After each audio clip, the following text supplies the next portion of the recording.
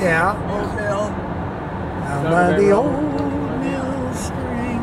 What did they do with it? I mean, They pulled it out. Destroyed it? They had to, it kind of just fell apart. I'll and bet. The engine and everything just kind of stayed at the bottom, so they had to bring a, bigger crane in and bring all that back up.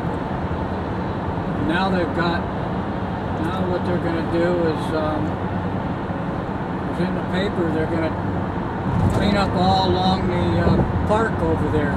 oh, like they should have done years ago, huh? You know all those. You know where that smokestack Yeah. was. Yeah. Well, all those Rock pillars and, and- and rock and everything mixed up with Yep. contaminants, so they're going to spend three or four months uh, dredging out all the rock and redoing it.